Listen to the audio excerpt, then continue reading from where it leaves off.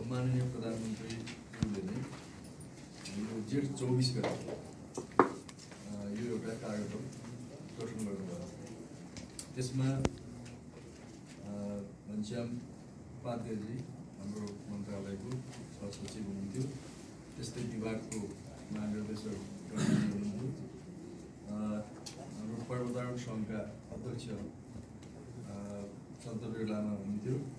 त्यस्तै हाम्रो टानका अध्यक्ष नवराज दाहालजी हुनुहुन्थ्यो र सदस्य सचिवको रूपमा विभागका अधिकृत हाम्रो मेरा आचार्यहरू अ, यसरी उहाँहरूले अत्यन्तै मिहिनेतपूर्वक यो प्रतिवेदन हिजो हामीलाई बुझाउनु हो निकै लामो छ यो झन्डै यसको पेज सङ्ख्या उन्साठी उन्साठी पृष्ठको प्रतिवेदन छ आज हामीले मूलत चर्चा यसको सिफारिस च्याप्टरमा गर्यौँ उहाँहरूले के के सिफारिस गर्दा भन्दाखेरि त्यो सिफारिस गर्दाखेरि के के अध्ययन भयो त? केही अध्ययन नभए त सिफारिस हुँदैन। उहाँहरूले अध्ययन गर्नुभयो अन्तर्राष्ट्रिय प्र्याक्टिसहरूलाई पनि हेर्नुभयो सेकेन्डरी डाटाहरूलाई र यो प्रतिवेदन दिनु पहिला त म समयमै नेपालमा अब यो आयोग कार्यदल बन्छ तर समय प्रतिवेदन आउने चलन छैन धेरै कम छ। त यो यो कार्यदलले एकदम समयमै प्रतिवेदन बुझाउनु यसको निम्ति संयोजक लगायत सबै साथीहरूलाई सदस्य साथीहरूलाई म धन्यवाद दिन चाहन्छु यो विषय विभिन्न अन्तर्राष्ट्रिय मिडियामा पनि थियो स्वयं सम्माननीय प्रधानमन्त्रीज्यूलाई बिबिसीको अन्तर्वार्ताक्रममा पनि यो क्वेसनहरू रहेको थियो त्यसो हुँदा यो विश्वव्यापी नै चासो रहेछ भन्ने हामीले बुझ्यौँ र भएको के थियो त यो जसरी प्रचारमा आयो त्यस्तै भएको थियो कि अथवा यसमा कुन पक्षबाट केही गल्ती भएका थिए कि? भन्ने सम्बन्धमा यो कार्यदलले व्यापक अध्ययन गरेपछि अघि घनश्यामजीले प्रस्तुत गर्नुभएका ती निष्कर्षहरू हुन्। निष्कर्षको मुख्य कुरा के हो भने यसपल्टको आरोहणको सिजन जहाँ हामीले मौसमको अनुकूलता हेर्छौँ त्यसका प्राविधिक पक्षहरू हेर्छौँ त्यस हिसाबले हेर्ने हो भने एकदमै थोरै दिन मात्रै र उहाँहरूको भनाइअनुसार झन्डै दुई दिन मात्रै मे बाइस र तेइस मात्रै को दुई दिनको विन्डोज मात्रै खुल्यो। त्यसले गर्दा मे बाइसभन्दा अघि चढ्नुपर्नेहरू पनि लाइनमा थिए। र मे तेइसभन्दा पछि चढ्नुपर्नेहरू पनि उतापट्टिको मौसम प्रतिकूल हुने पूर्व अनुमान भएपछि उहाँहरू पनि आफ्नो आरोहण चाहिँ अघिल्लै दिनमा गर्न आउनु त्यो ठाउँमा पुगिसकेपछि सायद उहाँहरूसँग अर्को विकल्प पनि थिएन। त्यस कारणले एकै दिनमा त्यति ठुलो सङ्ख्या सगरमाथामा पुगेको देखिन्छ। त्यो बाहेक अर्को कुनै पनि कारण छैन। हाम्रो हाम्रो अव्यवस्थापनले हाम्रा कमजोरीले भन्ने कुरा त्यो गौर कुरा हो मुख्य कुरा त्यो मौसमको प्रतिकूलताले र एउटा ठुलो सङ्ख्यामा सगरमाथा चढ्न चाहनेहरूको इच्छाले पनि त्यो स्थिति बनेको हो। त्यसैले यसलाई अन्यथा ढङ्गले प्रचार गर्नु उपयुक्त हुँदैन भन्ने कुरा म सबभन्दा पहिले भन्न चाहन्छु जस्तो अघि पनि उहाँहरूले भन्नुभयो यो जाम होइन लाम हो। सायद यो नै सबभन्दा राम्रो फाइन्डिङ होला जस्तो लाग्छ। जाम होइन लाम लाम विभिन्न कारणले हुन सक्छ त्यसलाई त्यो ढङ्गले हामीले बुझौँ।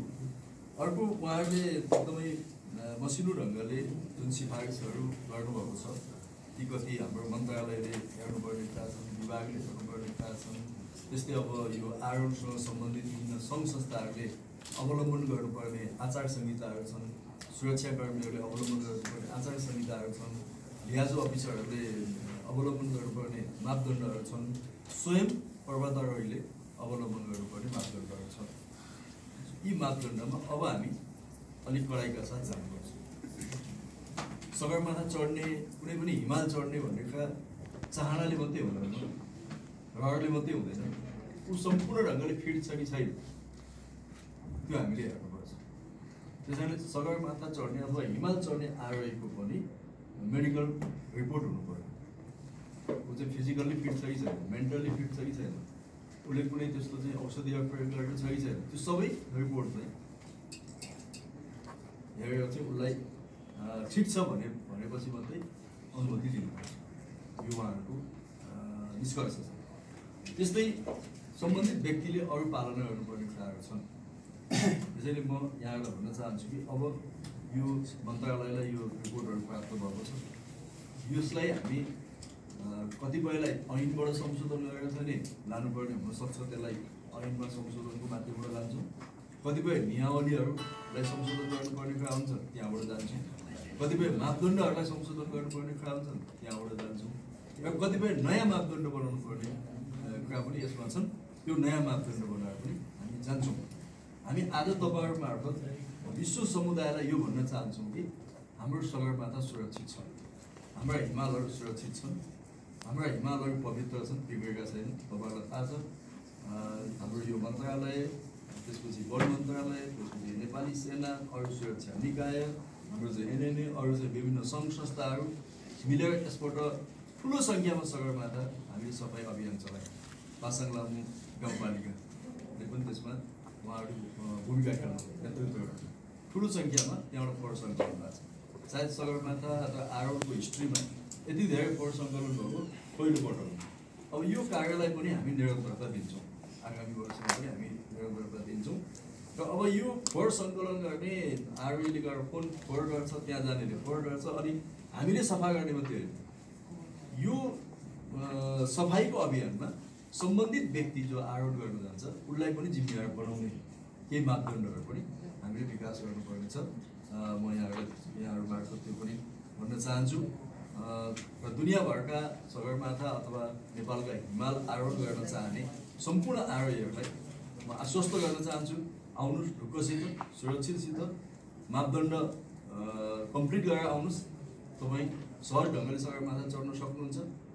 त्यसको निम्ति नेपाल सरकारले गर्नुपर्ने प्रबन्धहरू गर्छ सुरक्षाको प्रत्याभूति गर्छ। बिमादेखि लगायत सम्पूर्ण कुरामा हामी ध्यान दिन्छौँ। त्यस त्यो सन्देश पनि तपाईँहरू मार्फत म दिन चाहन्छु। यहाँहरूले केही प्रश्नहरू उठाउनु भएको छ अघि पनि त्यसको आइ नै सकेको छ। यो आरोहण कम्प्लिट गर्ने सगरमाथा आरोहण कम्प्लिट गर्ने सामान्य कुरा होइन यो असाधारण मानिसहरूले मात्रै गर्न सक्ने काम हो। सबैले गर्न सक्ने काम होइन। यदि सबैले गर्न सक्ने भए हामी पनि एकपल्ट गएर त्यहाँ आउनु त भन्न चाहन्थ्यौँ होला। तर यो सम्भव हुने कुरा थिएन। त्यस कारणले नि केही सीमित मान्छे यसमा सफल हुन्छ। त्यसो हुँदा तिनीहरू राष्ट्रका गहना हुन्। उनीहरूलाई सम्मान गर्ने कुरा विभिन्न तरिकाले गर्न सकिन्छ। विगतमा पनि अनेक अवार्डहरू चाहिँ उहाँहरूलाई भएको छ। तर अब यसमा हामी एउटा केही नियम बनाउँछौँ? कति पटकसम्म चढेकोलाई कस्तो खालका फेसिलिटीहरू सरकारले दिने? परिचय पत्रको त कुरा आएकै छ। त्यस्तै अब उहाँहरूलाई चाहिँ गुडविल एम्बेसडरको रूपमा घोषणा गर्ने रोजगारीका अवसरहरू दिने अरू कतिपय चाहिँ उहाँहरूले मानौँ न माउन्टेनरी स्कुल चलाउनुहुन्छ आरोहण स्कुल चलाउनुहुन्छ भने त्यस्तो स्कुलहरू स्थापना गर्नको निम्ति इन्सेन्टिभहरू दिने लगायतका प्याकेजहरूको सम्बन्धमा हामी घोषणा गर्छौँ केही समयपछि घोषणा गर्छौँ यो अत्यन्तै राम्रो सुझाव मित्रहरूले हामीलाई